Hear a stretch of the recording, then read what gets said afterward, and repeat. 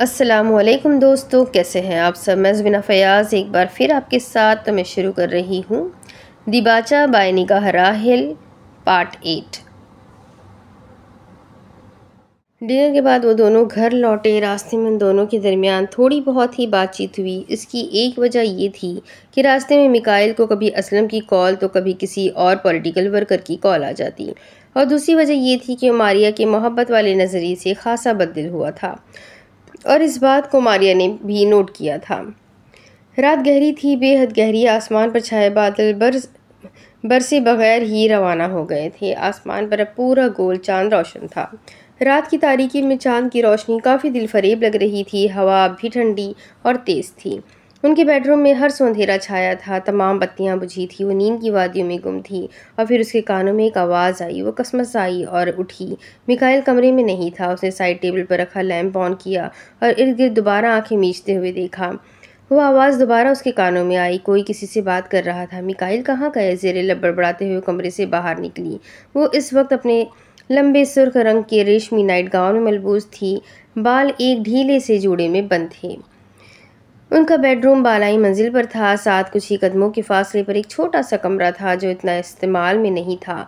उसे मिकाइल की आवाज़ उस कमरे से आई। वो छोटे कदम चलती हुई उस कमरे तक गई और उसके दरवाजे के सामने ठहर गई। दरवाज़ा थोड़ा सा खुला था। वो उसकी बातें सुनने लगी। वो खामोशी से उसकी बातें सुन रही थी, जो फ़ोन पर किसी शख्स से कर रहा था। उसका नाम भी मिकाइल की ज़बान से निकला था।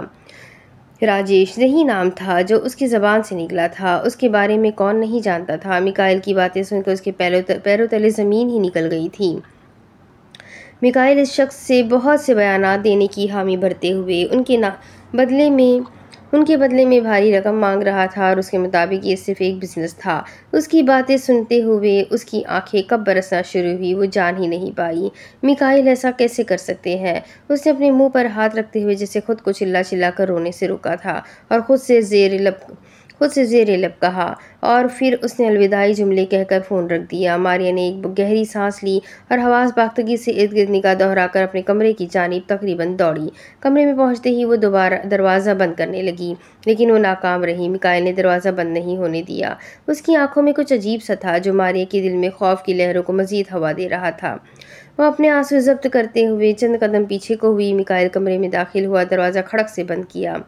तो तुमने सब सुन लिया। कुछ लम्हे उसे तासब से देखने के बाद उसने पूछा, मारे, कोई जवाब न दे पाई। उसके लब जैसे सिल गए थे। उसकी आँखों में खौफ के साथ साथ तैश की भी लहरें आ गई थी। आशकार थी। मारिया से कोई जवाब न पाकर मिकाइल की आँखें मज़ीद सुर्ख होने लगी। उसका चेहरा वही था, लेकिन न जाने आज मारिया को मिकाइल का चेहरा काफ़ी मुख्तलिफ़ लगा। वो उसके इस रूप से पहली बार आशना हुई थी। मारिया देखो, जैसा तुम समझ रही हो, वैसा कुछ नहीं है। वो ये जानते हुए भी कि मारिया उसका यकीन नहीं करेगी। वजाहतें देने लगा। उसकी वजाहतें सुनते हुए उसका दिल मज़ीद जलने लगा और वो तेज़ कदमों के साथ उसकी जानब बढ़ी। एक ज़ोरदार थप्पड़ उसने मिकाइल के गाल पर रसीद किया। वो उसकी तोक़ा नहीं कर रहा था। तुम किस कदर बेगैरत हो? अपने ही मुल्क का सौदा करते हुए तुम्हें शर्म नहीं आती। वो लब कुचलते हुए सुर्ख पड़ती आँखों के साथ उसे कह रही थी तो वो बुद्ध बना उसे देख रहा था। मारिया, तुम जो समझ रही हो, वैसा कुछ नहीं है। ये सिर्फ़ एक बिज़नेस है। उसने चंद लम्हे बाद उसकी आँखों में झांकते हुए आईब्रोज का कर कहा, जैसे ये कोई बड़ी बात ना थी। मारिया को उसका ये अंदाज नज़र, उसका ये अंदाज जहर लगा था। आज उसकी आँखों में मिकाइल के लिए नफ़रत, उसके लिए मोहब्बत से कई गुना ज़्यादा थी। Business my food. तुमने उस आदमी के साथ हाथ मिलाया जिसने पता नहीं हमारे कितने ही लोगों को शहीद कर दिया, कितने ही मासूम बच्चों को मौत के घाट उतारा, वो अपना हर लफ्ज़ चबा चबा कर कह रही थी। मिकाइल ने दोनों हाथों को दोनों हाथों की मुठ्ठियाँ भीज ली, उसकी बर्दाश्त ख़त्म हो गई थी। उसने तैश के आलम में लब कुचलते हुए उसके बाजू अपनी गिरफ्त में लिए उसकी गिरफ्त काफ़ी मज़बूत थी, वो कर रहा कर रह गई। उसको अपने करीब करते हुए वो उसकी आँखों में झाँक झाँक रहा था। देखो मारिया, तुम इस मामले से दूर रहो। मैं तुमसे बहुत मोहब्बत करता हूँ। मैं नहीं चाहता कि उसके रुखसार दबोचते हुए वो कह रहा था तो उसने बमुश्किल अपना बाजू छुड़वाया और भागते हुए कमरे से बाहर निकली। उसका चेहरा खौफ से सफ़ेद पड़ रहा था। तुम देखना मिकाइल, मैं तुम्हारी हकीकत दुनिया के सामने लाकर ही दम लूँगी। ये सच था कि वो उससे खौफजदा थी, लेकिन फिर भी वो सच बोलने से नहीं घबराई। वो हक का साथ देने वाली थी। वो भागती हुई सीढ़ियों की जानी बढ़ी उसका सांस फूल रहा था, उसने सीढ़ियाँ उतरना चाही, लेकिन वो ऐसा ना कर पाई। मिकायन ने उसकी कलाई अपनी मज़बूत गिरफ्त में जकड़ ली। मारिया, तुम जानती हो, मैं तुमसे बहुत मोहब्बत करता हूँ, लेकिन उसे अपने करीब करते हुए वो लाल अंगारा बनती आँखों से उसे देखते हुए कह रही था, कह रहा था, तुमसे कई ज़्यादा मोहब्बत मुझे अपनी इज़्ज़त से है, और मैं इस बात की किसी को इजाज़त नहीं दूँगा कि कोई मेरी इज़्ज़त को पामाल करे। तनफुर से कहता हुआ मारिया की नाजिक कलाई मरोड़ रहा था और वो बेबसी से उसे तकलीफ़ से भरी निगाहों से देख रही थी। तुम जैसे लोगों की कोई इज़्ज़त नहीं होती साफ़ साफ़ कहो, तुम्हें मोहब्बत सिर्फ़ अपनी दौलत से है। उसकी आवाज़ अब कदरे बुलंद थी। मिकाइल ने आयब्रोज काए, यही समझ लो, मगर अब तुम ये सोचो कि मैं तुम्हारे साथ क्या करने वाला हूँ? उसके चेहरे पर एक खबासत से भरी मुस्कुरा, मुस्कान उमड़ी। मारिया ये सुनकर सन्नाटे में रह गई। खतरा हर जानब था। मारिया उसका चेहरा देखती रह गई। ये वो चेहरा नहीं था जिसे मारिया पहचानती थी। ये तो एक बहुत ही मुख्तलिफ़ चेहरा था। मारिया, मैं तुम्हें कभी नहीं भूलूँगा। उसकी आवाज़ में अब की बार कुछ तकलीफ़ नुमाया हुई। वो कुछ समझ नहीं पाई कि वो क्या करने जा रहा था और उससे पहले कि वो कुछ समझती। मिकाइल ने उसकी कलाई छोड़ दी और उसे अपनी पूरी कुवत के साथ सीढ़ियों की जानब ढकेल दिया। उसे मिकाइल से इस रद्दमल की बिल्कुल तोकाना थी। उसकी चीख पूरे घर में गूंज उठी थी। सीढ़ियों से गिरती मारिया को देखते हुए मिकाइल कहा लगाकर हंसने लगा, जिससे वो बादशाह था और अपने ऊपर सवाल उठाने वाले शख्स को ख़त्म कर रहा हो। आखिरी सीढ़ी पर मुँह के बल गिरी मारिया अब अपनी दबी दबी आखिरी साँसें ले रही थी। उसके माथे पर से खून की लकीरें उमड़ रही थी। मिकाइल अपने मकरूर से अंदाज में सीढ़ी से नीचे उतरता आखिरी सीढ़ी तक आया और मारिया के सामने घुटनों के बल ज़मीन पर बैठा, उसे तनफुर से देखने लगा। तनफुर के साथ देखने लगा तुम ही तुम तुम्हें सज़ा ज़रूर मिलेगी, मिकाइल उसने दबी दबी सी आवाज़ में अचटती सी निगाह उस पर डालते हुए कहा। मिकाइल ने मुस्कुराकर सर झटका और फिर उसने उसको सीधा किया। उसका चेहरा अपने हाथों में लिया और उसे तमस्खर से भरे अंदाज में देखा। किसे सज़ा मिलेगी और किसे जजा, इसका फ़ैसला हमेशा मैं करता हूँ उसने तरफर से मुझों को ताव देते हुए कहा। वो उसे बेबस निगाहों से देख रही थी। अब उसमें मजीद कुछ कहने की हिम्मत ना थी। शायद वो बच जाती, लेकिन मिकाइल ने उसकी गर्दन अपने दोनों हाथों से दबोच ली। तकलीफ़ की मजीद कई लहरें उसके जिस्म में दौड़ी लेकिन अब उसमें चीखने चिल्लाने की कुवत बाकी नहीं थी। उसकी गर्दन अपनी पूरी कुवत के साथ दबा रहा था। उसे देखकर यही मालूम होता कि मिकाइल मलिक सिर्फ़ और सिर्फ़ जुल्म करना जानता था और वो जुल्म चाहे दूसरों पर हो या फिर अपने ऊपर वो बस जुल्म करना ही जानता था। मारिया की आँखें बंद होने लगी और फिर ये आँखें हमेशा के लिए बंद हो गई। उसका कमज़ोर वजूद अब मज़ीद हरकत ना कर, नहीं कर सका। नहीं कर रहा था। रात की तारीकी और चाँद की दिल फरीब रोशनी इस भयानक मंजर की गवाह बने, ये सब खामोशी से देख रही थी। मौजूदा दिन, अनाया बीबी अपनी बात मुकम्मल कर चुकी थी। उनकी आँखें उस दौरान मुतवातर आँसू बहाती रही। दूसरी जानब इरम ये सब सुनकर सकते में रह गई थी। अनाया बीबी ने दुपट्टे से अपनी आँखें रगड़ी और लिविंग रूम में इर्द गिर्द निगाह दौड़ाई। वहाँ उन दोनों के अलावा और कोई मौजूद नहीं था। लिविंग रूम का दरवाज़ा भी बंद ही था। घर के सब मुलाजिम कहाँ थे उस वक्त? एक तवील खामोशी के बाद इरम ने भर्राई हुई आवाज़ में पूछा, हम सब मुलाजमों के क्वार्टर्स तो तुमने देख ही रखे हैं। घर से बिल्कुल एक तरफ़ को है और वैसे भी वो वक्त आधी रात का था। उन्होंने शाने उचकाए। आपको ये सब कैसे मालूम? इरम ने उन्हें तशवीर से भरी निगाहों से देखा। इरम उस वक्त मैं मिकाइल साहब के घर में अपना कुछ सामान भूल गई थी, वही लेने के लिए मैं आई थी। और जब मैंने ये सब देखा तो उन्होंने वक्फा लिया। आवाज़ रूहान सी थी तो उसने फ़ौरन पूछा, मैं बावची खाने में छुप गई थी और फिर मैं खामोशी से सब देखती रही। उन्होंने अफसोस से सर झटक कर कहा। उनके तासरात ये बता रहे थे कि वो अपनी बेबसी या बुजदिली पर खूब शर्मिंदा थी। आपने कुछ किया क्यों नहीं? उसने ना समझी और बेयकीनी के आलम में पूछा। मैं कैसे कर सकती थी कुछ? मुझे मालूम ही नहीं था कि मिकाइल साहब मारिया बेगम के साथ ये करेंगे। उन्होंने साफ़ लाइनमी का इजहार किया। उफ अल्लाह, इस कदर जालिम हो सकते थे मिकाइल साहब, मैं ये कभी सोच भी नहीं सकती थी। उसने इतने, उसने तने हुए आसाब के साथ लब कुचलते हुए कहा, और फिर अनाया बीबी ने देखा कि इरम की आँखें भी नम होने लगी थी, बहुत नम यूँ कि बस बरसने वाली हो। मारिया बेगम की डेथ की वजह उन्होंने, क्या इकरार? उन्होंने क्या करार दी? उसने भीगे भीगे से लहजे में पूछा। उन्होंने बस ये कह दिया कि वो सीढ़ियों से गिरकर मर गई। उन्होंने साफ़ गोई से कहा, उसने सर झटका। उस उनके माँ बाप ने मामले की तह तक जाने की कोशिश नहीं की, उसे हैरत थी। उन्हें शक हुआ था मिकाइल पर, लेकिन अनाया बीबी के चेहरे पर सोच की लकीरें रोनुमा हुई। लेकिन क्या? उनके मजीद कुछ न कहने पर उसने सवाल किया। जब उन्होंने मारिया साहिबा की लाश का पोस्टमार्टम करवाया तो एक डॉक्टर ने रिपोर्ट्स में ये साबित कर दिया था कि उनकी गर्दन पर निशाना थे, मगर वो वो कहते हुए रुकी। कुछ देर सोचा वो क्या, वो मज़ीद सुनने के लिए काफ़ी बेचैन थी। वो कुछ दिनों बाद हार्ट अटैक से मर गया। उन्होंने एब्रोज खाते हुए तकलीफ़ से भरे लहजे में कहा नज़रों नज़रों में उन दोनों ने एक दूसरे से एक ही खशक का इजहार किया कि वो डॉक्टर हार्ट अटैक से नहीं मरा होगा। इन रिपोर्ट्स का क्या हुआ? उसने अफसोस से सर झटकते हुए पूछा, वो रिपोर्ट्स जाली करार दे दी गई। उन्होंने दुख भरे अंदाज में हाथ फैलाते हुए कहा इरम के चेहरे पर सोच की लकीरें मज़ीद बढ़ गई, वो अब खामोश रही, आँखें बहुत नम थी।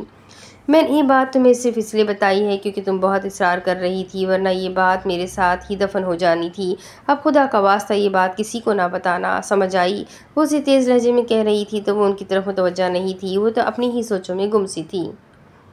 तो आपके पास कोई सबूत नहीं। उसने उनकी बात मुकम्मल नज़रअंदाज करते हुए पूछा, नहीं, उन्होंने नफ़ी में सर हिलाकर ज़ख्मी से अंदाज में कहा।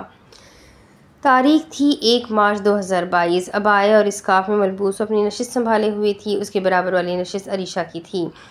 विंडो सीट से विंडो सीट उसे मिली थी। नैना खिड़की के, खिड़की से बाहर देख रही थी।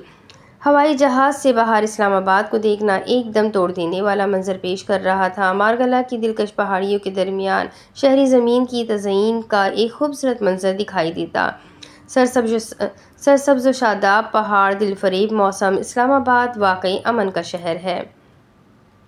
इस्लामाबाद मुझे तुम्हारा अमन याद आएगा, उसने खिड़की से बाहर नीचे गुजरते इस्लामाबाद को, के खूबसूरत मनाजिर को देखते हुए दिल ही दिल में खुद से कहा, इस्लामाबाद एक ऐसा शहर है जहाँ कुदरत के करिश में आपसे बात करते हैं, जहाँ लोग अपने साथ होने वाले वाक़ात का गवाह कुदरत को बना लेते हैं।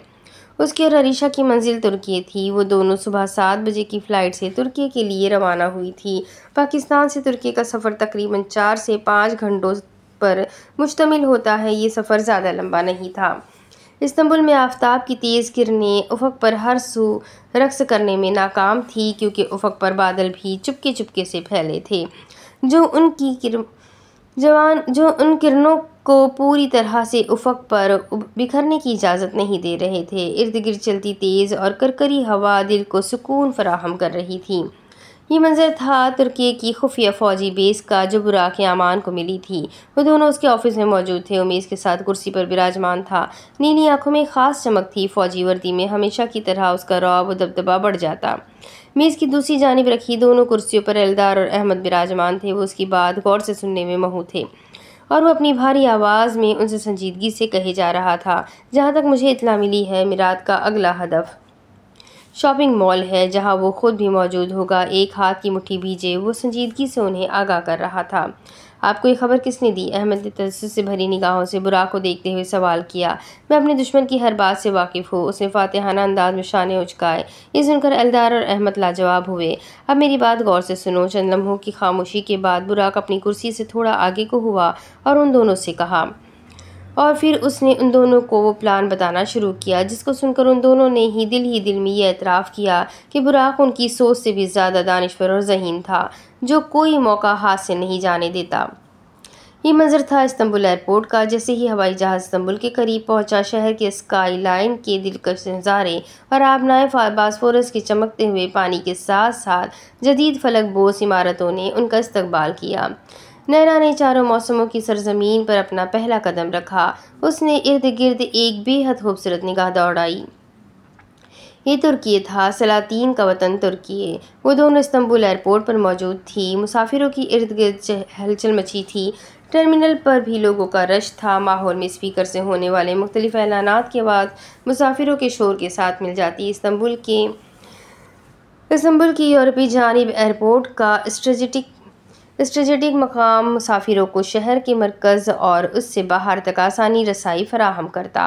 वो कदम बढ़ा रही थी, उसका उस सरजमीन पर लेने वाला हर कदम उसकी ज़िंदगी में एक के बाद एक नई तब्दीली लाने वाला था।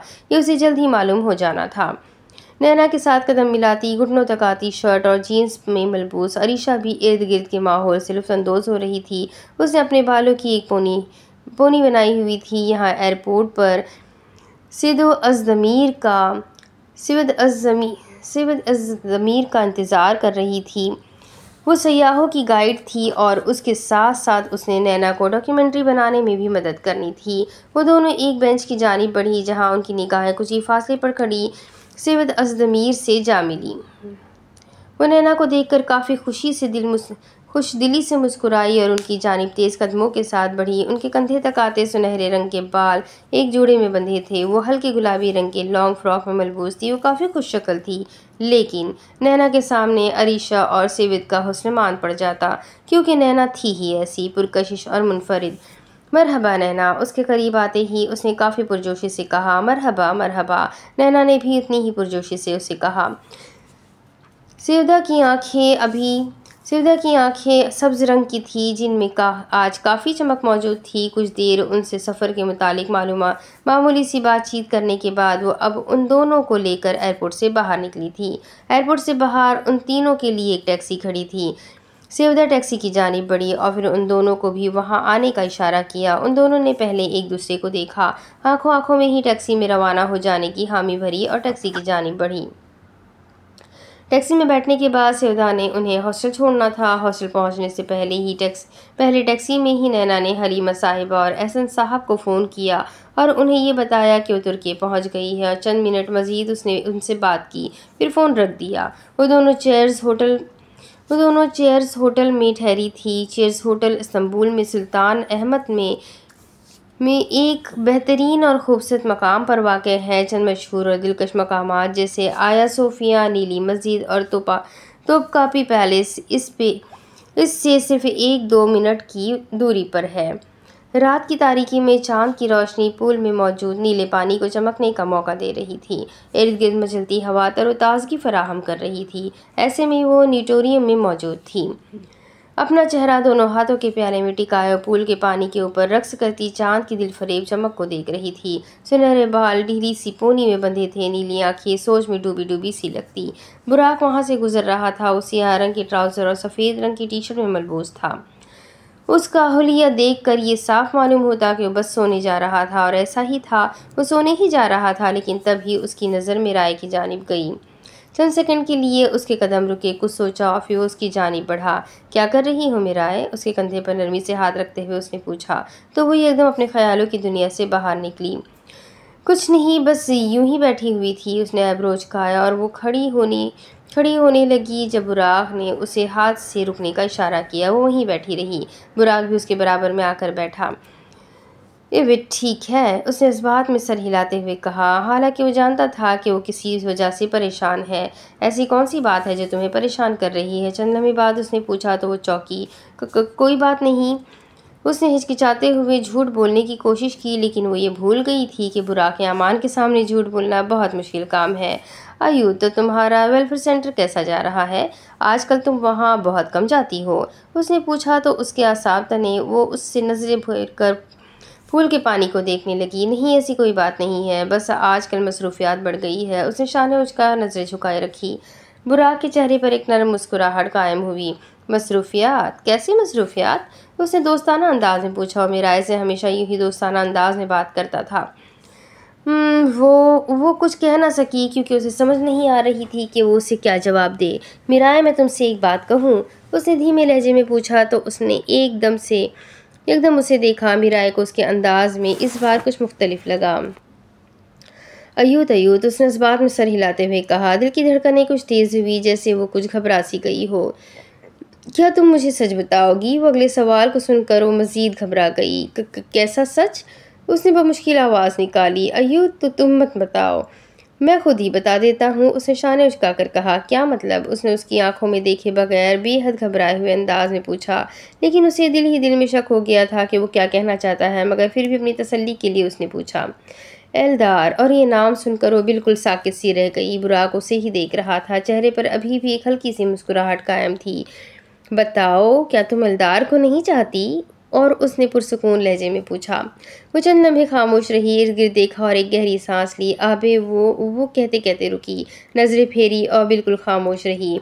ओह तो तुम मुझ पर बिल्कुल एतबार नहीं करती? उसने तासु से सर झटकते हुए कहा हाँ यार नहीं नहीं आबे, मुझे एतबार है आप पर। उसने फ़ौरन कहा तो फिर बताओ, क्या सच्चाई है?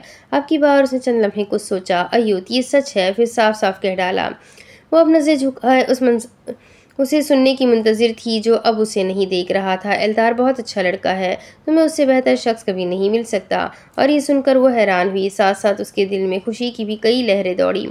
शायद वो ये भूल गई थी कि वो जिससे मुखातिब थी बुराक अमान था, हैरान कर देने में माहिर। आबे तो क्या आप मुझसे नाराज़ नहीं है? बुराक ने मज़ीद कुछ न कहा तो उसने पूछा अब की बार उसका लहजा कुछ आरामदा था, हर किस्म के खौफ से दूर। नहीं, बस मुझे ये दुख है कि तुमने मुझ पर एतबार नहीं किया। उसने तासुब से कहा, मुझे माफ़ कर दे। उसने फ़ौर नरम लहजे में कहा, बुराक को वो इस वक्त बहुत मासूम लगी। वो फ़ौर मुस्कराया, कोई बात नहीं मेरा है तुम बस ये बताओ कि आखिर तुमने मुझे बताया क्यों नहीं? क्या तुम्हें मुझ पर एतबार नहीं रहा? उसने अब की बार उसके कंधे थप नरमी से थपथपाते हुए कहा, नहीं आबे, ऐसी बात नहीं है। मुझे तो वो रवानी में कहते हुए एकदम रुकी, जैसे उसे मज़ीद कुछ नहीं कहना था। तो क्या? और वो मज़ीद सुनना चाहता था। मुझे तो एलदार ने मना किया था, एक गहरी सांस लेकर उसने धीमे लहजे में कह डाला, क्यों? उसने सर झटका।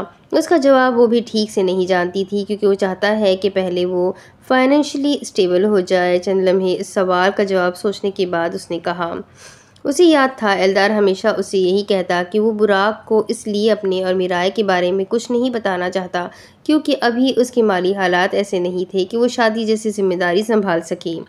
तमाम, तुम क्या चाहती हो? बुराक ने मामूली से अंदाज में पूछा। उसका सवाल सुनकर वो खामोश रही। वो समझ गया था कि वो क्या चाहती है। देखो मेरा अगर वो पहले फाइनेंशियली स्टेबल होना चाहता है तो इसमें कोई बुराई नहीं है, उसने साफ़ गोई से कहा। लेकिन हमने कभी किसी को जज नहीं किया तो उसे ऐसा क्यों लगता है कि हम उसको अपने से कमतर समझेंगे? उसने अब की बार उसकी आँखों में देखते हुए बेहद दुख भरे लम्हे लहजे में कहा, हर किसी की कुछ वैल्यूज़ होती है, कुछ प्रेफरेंस होती है। हमें उन्हें चैलेंज, हमें उन्हें चैलेंज नहीं करना चाहिए। उसने उसे समझाने की कोशिश की, तमाम, आप सही कह रहे हैं। कुछ सोचने के बाद उसने कहा, वो उसकी बात समझ रही थी, मैं हमेशा सही कहता हूँ। शान उचकाते हुए उसने हमेशा की तरह बहुत अतमाद से कहा, वो मुस्कुराई। क्या मैं अलदार को बता दूँ कि आप जानते हैं हमारे बारे में? इसका फ़ैसला तुम खुद करो और ये सुनकर उसके चेहरे पर सोच की लकीरें वाजे हुई। अगर अलदार को मालूम हुआ कि बुरा काबे हमारे बारे में जानते हैं तो उसे यही लगेगा कि मैंने उन्हें बताया और फिर वो मुझ पर कभी एतबार नहीं करेगा। इसलिए तो क्या फ़ैसला किया तुमने? वो सोच ही रही थी कि तभी बुराक ने पूछा, मैं अलदार को नहीं बताऊँगी। उसने सर धीरे से नफ़ी में हिलाकर अपना फ़ैसला सुनाया। तमाम, जैसे तुम्हारी मर्ज़ी। उसने बेहद खूबसूरत मुस्कुराहट के साथ कहा और फिर नरमी से उसके कंधे थपथपा दिए। बुराक से बात करके मिराए के दिल पर बोझ काफ़ी कम हो गया था। पहले वो अपने जहन में चलने वाले इंतशार से इस कदर परेशान हो गई थी कि उसे समझ ही नहीं आ रहा था कि वो क्या करे, क्या बुराक को बताए। और फिर जब उसे मालूम हुआ कि बुराक इन दोनों के बारे में जानता है और उसे कोई एतराज़ भी नहीं तो उसका दिल एकदम बहुत हल्का हो गया था। तारीख थी तीन मार्च 2022 आज उसका तुर्की में तीसरा दिन था, पहले दिन तो वो कहीं नहीं जा सकी और दूसरे दिन भी वो हॉस्टल में ही रही। सफ़र की वजह से काफ़ी थकान हो गई थी, उसे भी और अरीशा को भी। लेकिन आज सेवदा के साथ वो दोनों अस्तनीय पार्क के एक शॉपिंग मॉल में आई थी। नैना को यहाँ तुर्की के बारे में डॉक्यूमेंट्री के लिए काफ़ी मालूम इकट्ठी करनी थी। यहाँ ऐसी बहुत सी चीज़ें थी जिनके बारे में वो अपनी डॉक्यूमेंट्री में लिख सकती थी और अरीशा तो यहाँ सिर्फ़ और सिर्फ़ शॉपिंग के लिए आई थी। स्तनीय पार्क इस्तंबुल के स्तनीय क्वार्टर में एक शॉपिंग सेंटर है, जहाँ दो सौ क्या टू नाइन्टी वन स्टोर्स है और हर एक दूसरे से बढ़कर है। इसके साथ साथ इसमें चार सतह के जेर जेर ज़मीन पार्किंग है। मरकज़ में बंद और खुली हवा वाले दोनों हिस्से हैं। ओपन एरिया सेक्शन में एक सब्ज़ मरकज़ी पार्क है, जो सड़क के किनारे ख़रीदारी की पेशकश करता है। और मरकज़ में एक मुस्तंद तर्क फ़ूड बाज़ार भी है, जो एक रिवायती तर्क बाज़ार है, जो तुर्की के फ़न तमीर और तारीख से मुतासर है। उफक पर सूरज आज ज़ोर शोर से चमक रहा था। रुई की मानंद सफ़ेद बादल चुपके चुपके से नीले उफक पर लहराते बादलों को आज सूरज से मात मिल चुकी थी। इर्द गिर्द चलती हुई हवा ज़्यादा तेज़ नहीं थी। नैना आज एक मैरून कलर के अबाए और हल्के गुलाबी रंग के स्काफ में मलबूस थी। चेहरा मेकअप से खाली था, फिर भी उसकी इस बड़ी सी आँखें सफ़ेद, साफ़ और शफाफ रंगत और गुलाबी रुखसार हसन का पीकर थे। और वो अपने हाथ में एक नोटबुक थामे इर्द गिर्द की अशिया का मुशाहिदा करती और उनके बारे में अहम नकात अपनी नोटबुक में लिख लेती। दूसरी जानब अरीशा और सेवदा शॉपिंग में मसरूफ़ थी। सेवदा कुछ मिनटों बाद उसके पास आती और उसे इर्द गिर्द की कुछ अशिया के बारे में थोड़ी बहुत मालूम देती और फिर दोबारा शॉपिंग में लग जाती। वो तीनों शॉपिंग मॉल की बालाई मंजिल पर थे। इर्द गिर्द लोगों का रश था। बालाई मंजिल पर मौजूद खिड़कियों से सूरज की रोशनी अंदर आकर हर सू रक्स कर रही थी। सेवदा अब नीचे चलकर चीज़ें देख लेते हैं। यहाँ पर और कुछ खास नहीं है। अरिशा हैंगर में लटके एक लंबे फ्रॉक को देखती हुई मुँह बनाते हुए कह रही थी, तमाम तमाम सेवदा ने हामी भरते हुए कहा। वो दोनों नैना के पास गई, जो उन दोनों से कुछ ही फासले पर खड़ी थी, उन्होंने उसे बताया कि अब उन्हें शॉपिंग मॉल की सबसे आखिरी मंजिल पर जाना है। उसने नोटबुक और पेन अपने सियाह रंग के हैंडबैग में डाली और उन दोनों के साथ चलने लगी। सूरज की तेज़ रोशनी खिड़की से गुजरती हुई एकदम उसके चेहरे से टकराई थी। उसका चेहरा मजीद खिल उठा था। वो तीनों शॉपिंग मॉल के ऊपरी हिस्से के मरकज़ में वाक़ लिफ्ट की जानी बढ़ी। उस लिफ्ट को एक कुशादा एर एटीरियम ने घेरा हुआ था जो जदीद तमीराती अनासर जैसे चीकना चीकना शीशे के पै, पैनल पॉलिश धात के एक्स एक्सेंटर्स और असरी लाइटिंग फिक्सचर से मजीन था। लिफ्ट के चौड़े दरवाजे खुले। इन तीनों के साथ दो तीन अफराद भी लिफ्ट में दाखिल हुए। लिफ्ट को अंदर से आला मैार के धात जैसे ब्रश सदा ब्रश शुदा धात से और आरइशी फिनिश फिनिश से मजीन किया गया था। उसको अंदर से वसी व अरीज दिखाने के लिए आयने को हमत अमली के साथ रखा गया था। लिफ्ट चल पड़ी थी नैना इस दौरान खामोशी से खड़ी रही, लेकिन अरीशा और सैदा एक दूसरे से बातों में मसरूफ़ रहे। सैदा की कुछ ही दिनों में उनसे बहुत अच्छी दोस्ती हो गई थी। वो काफ़ी नरम मिजाज और हर किसी के साथ दोस्ताना अंदाज अपनाने वाली लड़की थी। नैना अरीशा की तरह बहुत ज़्यादा बातूनी भी नहीं, बातूनी नहीं थी, इसीलिए वो उन दोनों की बातें खामोशी से सुन रही थी। और कभी कभी वो दोनों उससे भी अपनी गुफ्तु के दौरान कुछ पूछ लेती तो वो उसका मुख्तसर सा जवाब दे देती। चंद मिनटों बाद लिफ्ट अपनी मंजिल पर आकर रुकी। लिफ्ट के दौर, दरवाजे पर सीधा सबसे आखिरी वाले फ्लोर में खुले थे। वो तीनों चूँकि लिफ्ट में सबसे आगे खड़ी थी, उसी बिना पर वो तीनों सबसे पहले लिफ्ट से निकली। और लिफ्ट से निकलकर सामने का मंजर देखकर उनके कदम जंजीर हुए। लिफ्ट में मौजूद बाकी अफराद भी बाहर निकले और वो भी सामने का मंजर देखकर बिल्कुल साकित से रह गए। वहाँ हर तरफ़ खौफ की फिजा कायम थी, हर सू खतरा ही खतरा था। सिया लिबास में बहुत से नकाबपोश आदमी वहाँ मौजूद थे, जिन्होंने अपने हाथों में मशीन गन्स उठाई हुई थी और वो मशीन गन्स उन्होंने वहाँ मौजूद। हर शख्स पर ख्वाह वो आदमी हो, औरत हो या बुज़ुर्ग, उनके सरों पर तान रखी थी। हिलना मत। अब नका, उन नकाबपोश अफराद में से एक आदमी उन तीनों को देख कर चिल्लाया। नैना और अरीशा कुछ समझ ना सकी। उन दोनों ने नासमझी से साथ खड़ी सेवदा को देखा। वो कह रहे हैं, यहाँ से हिलना मत। उसने सरगोशी करने वाले अंदाज में सहम कर कहा। उन दोनों ने इस बात में सर हिला दिया। कुछ नकाबपोश अफराद उन तीनों की जानब बढ़े और उन तीनों के साथ साथ लिफ्ट से निकलने वाले बाकी लोगों के हाथ भी उन्होंने पीछे की तरफ़ बाँध दिए। किसी ने कोई मजामत ना की, इस वक्त मजामत करने की किसी में हिम्मत ना थी, सिवाय इसके। बाकियों की तरह उनमें से एक नकाबपोश आदमी ने नैना के सर पर भी मशीन गन तान दी, वो कुछ ना बोली, लेकिन तैश के आलम में उसकी सांस फूल रही थी और आँखें सुर्ख हो चुकी थी। अगर किसी ने पुलिस को बुलाने की कोशिश की तो अंजाम का जिम्मेदार वो खुद होगा। इन नकाबपोश अफराद में से एक ने बुलंद आवाज़ में सबको तंबी की। सब लोगों पर लर्जा तारी हो चुका था। हर कोई सहम कर एक दूसरे को देख रहा था। ऐसे में अगर किसी के चेहरे पर खौफ की लहरें मौजूद नहीं थी तो वो नैना एहसन थी। और ऊपर वाले फ्लोर से भी लोगों के चीखने चिल्लाने की आवाज़ें आना शुरू हुई, जिससे ये बात सबको समझ आ गई थी कि पूरा मॉल उन लोगों ने अपने कंट्रोल में ले लिया था। कौन हो तुम लोग? वो शख्स जो नैना के सर पर मशीन गन ताने हुए था, उसने उससे नैना ने अंग्रेज़ी में सख्त लहजे में पूछा, उसके हाथ अभी भी बंधे हुए थे। लड़की तुम्हें मालूम हो जाएगा जल्द ही, जब हम तुम सबको यहाँ मौत की घाट उतार कर चले जाएँगे। उस शख्स ने तर्ज जबान में एक एक लफ्ज़ चबा चबा कर कहा, जिसकी समझ नैना को बिल्कुल ना आई। उसने हाथ छुड़ाने ही छुड़ाने चाहे, लेकिन उस शख्स की गिरफ्त मज़ीद मज़बूत हो गई। तभी किसी के कदमों की आहट की आवाज़ आई। नकाबपोश अफराद के साथ बाकी डरे सहमे लोग भी बाएँ जानब देख मुतवजा हुए।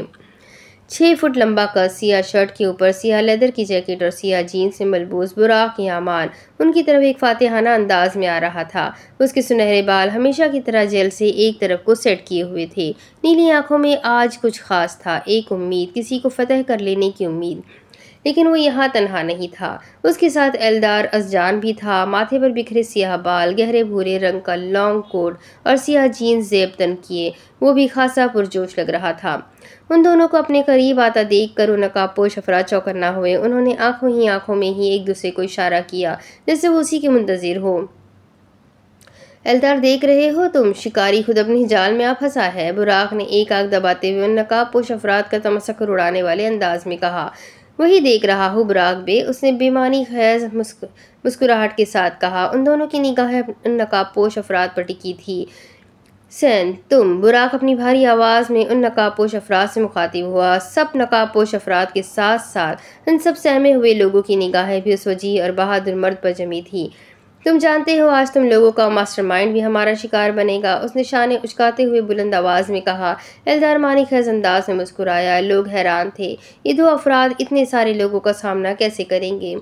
देखते हैं कौन किसका शिकार बनता है। एक नकाबपोश अफराद ने तनफुर से कहा, नैना बुराक से चंद कदमों के फासले पर खड़ी थी चूँकि वो लोग आपस में तर्क जबान में बात कर रहे थे, इसलिए उनकी बातें समझ ना सकी। लेकिन उसे ये तो मालूम था कि वो एक दूसरे से बातों में मसरूफ़ थे, और ये उसके लिए अच्छा मौका था, और उसने इस मौके का पूरा फ़ायदा उठाने की कोशिश भी की। उसने अपनी सिया हाई हील्स उस नकाबपोश शख्स के पाव पर दे मारी, जो उसके सर पर मशीन गन ताने खड़ा था, वो शख्स एकदम बौखला सा गया। बुराक की नज़र उस लड़की पर गई, जो अब मॉल के दरवाजे तक भाग रही थी। उसने दो कदम आगे बढ़ाया और फिर रुक गया। इन नकाबपोश अफराद में से एक शख्स ने नैना को अपनी पूरी कुत के साथ बाजू से पकड़ लिया। उसकी गिरफ्त इतनी मज़बूत थी कि नैना ने तकलीफ़ से आँखें मीच ली। उस नकाबपोश शख्स ने नैना को फर्श की तरफ़ ज़ोर से फेंका। वो घुटनों के बल फर्श पर जा गिरी, जिसमें एकदम शिद्दत से लहर की, दर्द की लहर दौड़ी।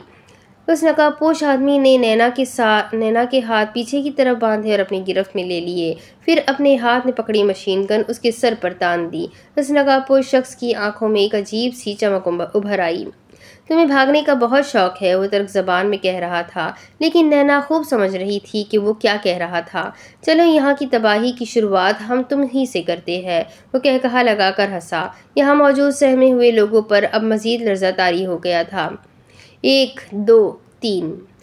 इस नकाबपोश शख्स ने गिनती शुरू की और फिर उसने मशीन गन लोड करना शुरू की। अरीशा ये देखकर एकदम चिल्लाई लेकिन एक नकाबपोश ने उसके चेहरे पर एक ज़ोरदार थप्पड़ रसीद किया। वह हड़बड़ा कर रह गई। नैना के सर पर मशीन गन ताने उस नकाबपोश आदमी ने अब मशीन गन की ट्रिगर पर उंगली रखी। अब सिर्फ़ एक ज़ोरदार आवाज़ की देर थी। जो नैना एहसन की इस दुनिया से तमाम राहें जुदा कर देने वाली थी, जो नैना के वजूद को हमेशा के लिए ख़त्म कर देने वाली थी। नैना ने आँखें मीच ली और एक गहरी सांस ली, आँखें खोली। उसका चेहरा बेखौफ था। उसकी इस बेवकूफ़ उसकी इस बेखौफी और बहादुरी का बुराक दूर से मुशाह कर रहा था। दिल ही दिल में कई सतशी जुमले उसने इस बहादुर लड़की के लिए कह डाले। अशद वाहदहू ला शरीक लहू वशदन्ना महमदन अब्दू रसूलू और ये वो अल्फाज थे जो नैना की ज़बान से खुद ब खुद अदा हुए। उसके दिल में एक सुकून सा मचलने लगा, वो जेर लब मुस्कुराई। वो उस दिन से नहीं खौफ खाती थी। आखिर वो शख्स मौत से कैसे खौफ खा सकता है? जो सारी ज़िंदगी अपनी आखरत की फ़िक्र करता हो और जो अपनी आखरत की बेहतरी के लिए ही काम करता हो। और फिर वो ज़ोरदार और भयानक आवाज़ पूरे मॉल में गूंज उठी। उसे तेज़ गर्म सलाख सी सीने में घुसती महसूस हुई। अरीशा और सेवदा ज़ोर से चिल्लाई। सिर्फ़ वो दोनों ही नहीं, वहाँ मौजूद तमाम डरे सहमे लोग भी चिल्लाए। मशीन गन से गोली चल चुकी थी। इस ज़ोरदार और भयानक आवाज़ ने उसकी तमाम राहें इस दुनिया से जुदा कर दी थी। सर खून सुर्ख खून फर्श पर बहने लगा था। अगर जुल्म के ख़िलाफ़ कोई भी शख्स आवाज़ ना उठाए तो ये माशरा इंसानों के रहने के लिए नहीं है, बल्कि जानवरों के लिए है। आफ्ताब की किरणें और इर्द गिर्द चलती हवा खिड़कियों के पर्दों से गुजरकर कमरे में फैल रही थी। पर्दे बाहर चलने वाली हवा के बास लहरा रहे थे। हलीमा साहिबा अपने कमरे में मौजूद थी। फर्श पर जा नमाज़ बिछाए उन्होंने सलाम फेरा।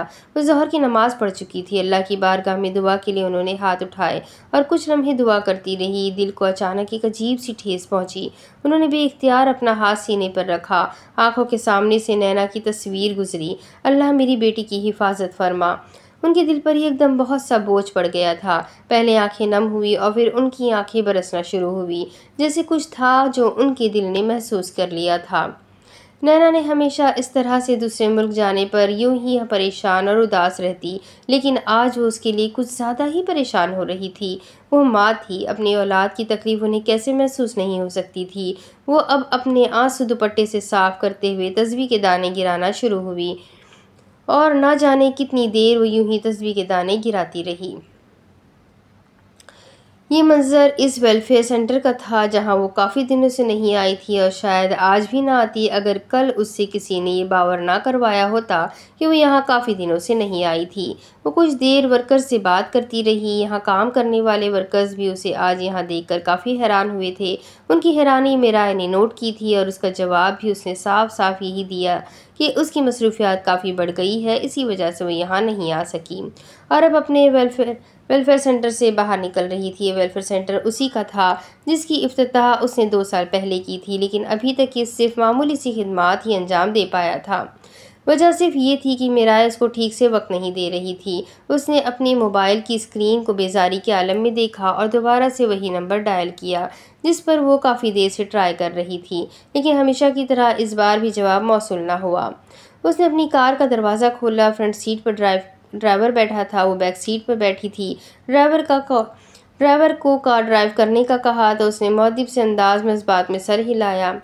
और कार ड्राइव करना शुरू की। मेराय ने दोबारा इस नंबर पर कॉल मिलाई। उफ अल्लाह, नैना फ़ोन क्यों नहीं उठा रही? जवाब ना मौसू होने पर वो नागवारी से जेर लब बड़बड़ाई। उसने अब की बार नैना को बहुत से मैसेजेस सेंड किया, फिर फ़ोन को नागवारी से अपने हैंडबैग में रख दिया। फिर एक गहरी सांस ली और खिड़की से बाहर गुजरते हुए मनाजिर देखने लगी। नैना ने उसे बताया था कि वो तुर्की आ गई है इसीलिए वो उसे बार बार कॉल कर रही थी ताकि उससे मिल सके लेकिन अब उसके यू फ़ोन ना उठाने पर उसका दिल काफ़ी दुखा था। वो क्या जाने कि वो फुर, वो फ़ोन क्यों नहीं उठा रही थी? सुरखून की लहरें फर्श पर बह रही थी वो शख्स ज़मीन पर गिरा हुआ था ये वही नकाबपोश शख्स था जो नैना के सर पर मशीन गन ताने हुए खड़ा था। नैना के चेहरे पर इस वक्त हैरानी और बेयकीनी के मिले जुले तासरात ने घर किया हो, घर किया हुआ था। उसे इस सब की तोकाना थी। वो तो समझी थी कि आख, आज उसका आखिरी दिन था, लेकिन वो ये भूल गई थी कि जब तक खुदा न चाहे, कोई किसी को मौत या ज़िंदगी नहीं दे सकता। कुछ लम्हे पहले, एक, दो तीन। उस नकाबपोश शख्स ने गिनती शुरू की। कुछ ही कदमों के फासले पर खड़ा बुरा के मंजर देख रहा था। उसने लड़की को भी देखा, जो बिल्कुल बेखौफ थी। उसने एब्रोज काते हुए एलदार को आँख से इशारा किया। एलदार सब समझ गया। एलदार ने गहरी सांस ली और छोटे छोटे कदम लेता आगे को बढ़ा। बुराक पीछे ही रहा और फिर वो भी छोटे कदम लेता। इतना पीछे को गया कि सबकी निगाहों से उजल हो गया। उस वक्त सबकी नज़रें नैना और इस पर मशीन दंताने ताने हुए नकाबपोश शख्स पर जमी थी। यूँ कोई उसकी तरफ़ मुतवजा ना होता ना था। अब मॉल के एक दराज सफ़ेद सतून के पीछे जा खड़ा हुआ, अपनी जेब से पिस्तौल निकाली और फिर उस शख्स का निशाना बांधा जो नैना के सर पर मशीन गन ताने खड़ा था। बुराक ने ट्रिगर पर हाथ रखा और फिर गोली चला दी। एक ज़ोरदार और दिल दहला देने वाली आवाज़ मॉल में गूंजी थी। यह आवाज़ सुनकर नैना भी एकदम कापसी गई थी। उसे यूँ देख कर बुराक जेर लब मुस्कुराया। वो गोली सीधा उस नकाबपोश शख्स के सीने को चीरते हुए गुजरी थी। वह आवाज़ वागता सा होकर फर्श पर जा गिरा। उसकी मौत वाक़े पर मौत मौके पर वाक़ हो गई। आखिर बुराक के निशाने से कौन बच सकता था? नैना ने जहरा मोड़ कर उस शख्स को देखा जो उसका मोहसिन था। वो शख्स जिसे अल्लाह ने उसे बचाने के लिए वसीला बनाकर भेजा था। सी आँखों ने पहली बार उन नीली आँखों में देखा जो उसे ही देख रही थी, लेकिन वक्त थमा नहीं, वक्त थम भी नहीं सकता था। हर तरफ़ अभी भी खौफ फैला था। नैना फर्श से उठी और कुछ ही कदमों के फासले पर खड़ी से उदय और आरिशा के पास भागी। बुराक उसे यूँ ही चंद लम्हे देखता रहा। वह हैरान था कि लड़की मौत को अपने इतना करीब देखने के बावजूद घबराई नहीं। दिल ने एक बार फिर कई सताइशी जुमले उस लड़की के लिए कह डाले। अरीशा और सेवदा के पास नैना इसलिए भागी थी क्योंकि वो नकाबपोश अफराज जिन्होंने सेवदा और अरीशा के ऊपर नज़र रखी हुई थी, वह बुराक की तरफ़ मुतवजा थे। सिर्फ़ यही नहीं, बाकी नकाबपोश अफराद भी अब बुराक अमान की तरफ़ ही मुतवजा थे।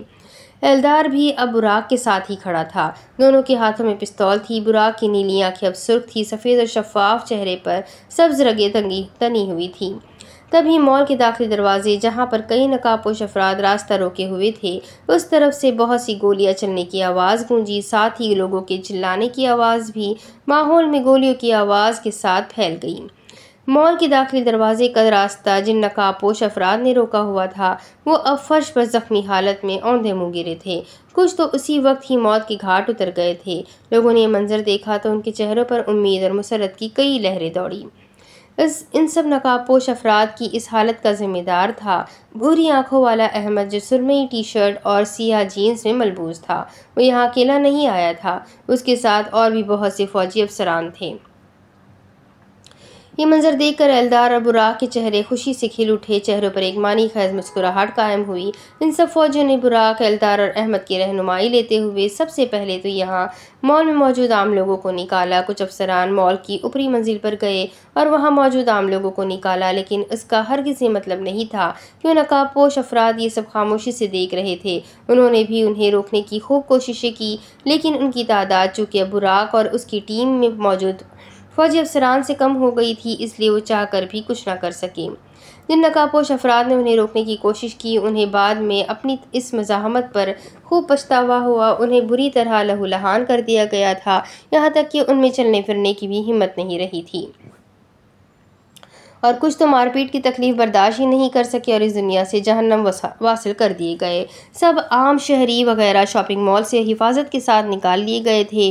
कोई आम शख्स अब इस मॉल में मौजूद नहीं था। अगर कोई मॉल में मौजूद था तो वो थे चंद नकाब पोश अफराद और बुराक के साथ उसकी टीम। हैरत की बात यह थी कि नकाबपोश अफराद वहाँ से भागने की कोशिश नहीं कर रहे थे। हालाँकि कई नकाबपोश अफराद को बुराक और उसकी टीम ने उनके सामने मौत की घाट उतारा था। तुम लोग भी मरना चाहते हो, बुराक ने लब कुचलते हुए उन नकाबपोश अफराद को देखते हुए बुलंद आवाज़ में कहा। वो नकाबपोश अफराद उसकी बात सुनकर कह कहा लगाकर हंसने लगे। उनका यूँ हंसना बुराक को जहर लगा। चंद लम्हे वो यूँ ही हँसते रहे। बुराक ने अपनी पिस्तौल लोड की ट्रिगर पर हाथ रखा और एक नकाबपोश शख्स का निशाना बांधा। और तभी एकदम खामोशी छा गई, उनके कह कहे बंद हो गए। बुराक को लगा कि वो उसके यूँ पिस्तौल उनकी तरफ़ बढ़ाने पर खौफजदा हो गए थे, लेकिन ऐसा नहीं था। किसी की आहट की आवाज़ आई, सब मुतवजा हुए। एक सफ़ेद सतून के पीछे से आता वो एक दरमियाने कद वाला शख्स था, जो सर पर एक भूरे रंग की हैट पहने हुए था और चेहरे को एक सियाह कपड़े के टुकड़े से ढका हुआ था। ये हैड बुराक ने पहले भी कहीं देख रखी थी। हाँ ये वही हैड थी, जो कारा भी पहना करता था। मतलब ये वही था। बुराक का सबसे बड़ा दुश्मन, वो जिसकी तलाश बुराक को यहाँ लाई थी, मिरात कारा बे।